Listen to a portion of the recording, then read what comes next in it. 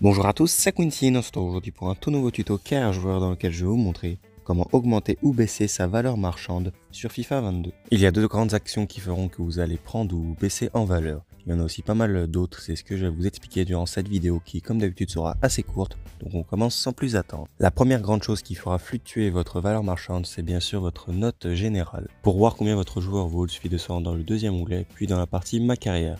Là vous le voyez, la 84 de général et sa valeur actuelle est de 280,5 millions d'euros. Je lui ai donc enlevé tous ses attributs, il est donc maintenant à 70 de général et si on retourne dans le même onglet, vous allez voir que sa note a drastiquement diminué. Il est descendu à 6,5 millions d'euros donc il a quasiment perdu toute sa valeur. Donc le général c'est vraiment ce qui va déterminer la valeur de votre joueur. Il y a aussi un autre facteur très important, je vous en reparle en fin de vidéo. On enchaîne donc avec un autre élément qui est un peu moins important mais qui va quand même faire fluctuer votre valeur. Il s'agit de votre morphologie. Donc je vais mettre la morphologie inverse de mon joueur, donc je vais le faire assez grand et très maigre. Je vais le faire en accéléré pour que ça aille assez vite, donc il a perdu 3 points de général, il est maintenant à 91. Mais vous allez voir que c'est assez paradoxal car sa valeur marchande va augmenter. Il est donc passé de 280 à 297 millions d'euros.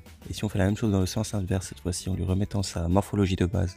Il va donc remonter à 94 de général, mais sa valeur va rebaisser, comme je vous l'ai dit c'est assez paradoxal, donc la morphologie influe sur euh, sa valeur mais de manière inversée. On va continuer cette fois-ci en enlevant les atouts de mon joueur pour voir si ça influe sur sa note. Donc on fait comme d'habitude en accéléré et on va retourner pour voir. Ça n'a strictement eu aucun impact donc euh, les atouts n'influent pas sur euh, votre valeur. Donc pour résumer, pour l'instant les deux choses qui vont faire euh, augmenter ou baisser votre valeur marchande ce sont la note générale de votre joueur et sa morphologie. Nouvel essai maintenant, on va refuser plusieurs offres pour voir si sa valeur augmente. Donc à chaque fois je vais commencer par accepter l'offre pour voir combien il a été vendu. Donc là sa valeur est de 5,5 millions d'euros, il a été vendu 6,5 millions d'euros.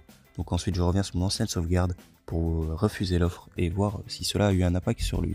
Après le premier transfert, il vaut toujours 6,5 millions d'euros car il a 70 de général, donc pour l'instant ça n'a pas eu d'impact. On va essayer avec une deuxième offre. Le transfert était là aussi évalué à 6,5 millions d'euros, donc ça n'a pas bougé, et sa valeur marchande là aussi est restée la même.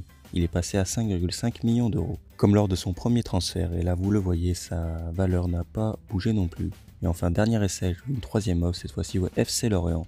Sa valeur actuelle est toujours la même de 5,5 millions d'euros quand il arrive au club alors que ce troisième transfert était exactement égal aux deux autres, donc ça n'a vraiment pas bougé. Donc comme vous venez de le voir, refuser des offres n'a aucun impact sur la valeur de votre joueur. Autre chose aussi en lien avec celui-là qui n'a aucun impact, c'est le club dans lequel vous jouez. Vous pouvez très bien être dans un club de Ligue 2 comme par exemple Dunkerque ou encore Le Havre et avoir la même valeur marchande que si vous étiez au Real de Madrid.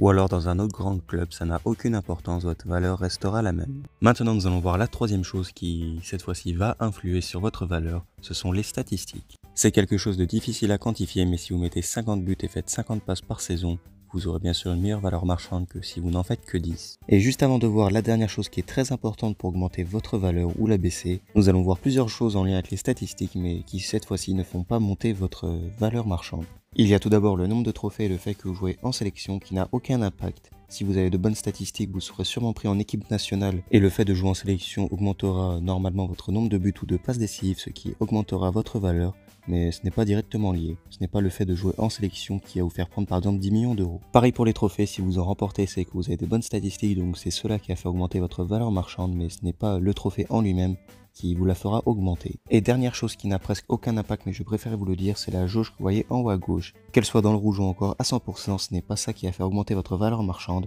même ça a quand même un impact, car si vous êtes titulaire, vous aurez de meilleures statistiques et donc un meilleur général. Et pour terminer, la deuxième grande chose qui va vraiment influer sur votre valeur marchande, vous l'aurez peut-être deviné, il s'agit de l'âge. Si on prend par exemple une carrière avec un vrai joueur avec Luka Modric, vous voyez qu'il a 88 de général après deux saisons et que sa valeur est de 36 millions d'euros. Alors que Rodrigo qui a 8 points de général en moins une valeur marchande plus élevée puisqu'il est à 42 millions d'euros. Donc ça peut monter très très haut quand vous êtes jeune et plus vous allez vieillir, plus votre valeur va baisser même si vous augmentez en général. Donc voilà, c'est la fin de cette vidéo, j'espère qu'elle vous aura plu. C'est le à liker et regarder mes autres tutos carrière joueur qui pourraient là aussi t'intéresser. On se retrouve dans seulement quelques jours pour un tout nouveau tuto. Ciao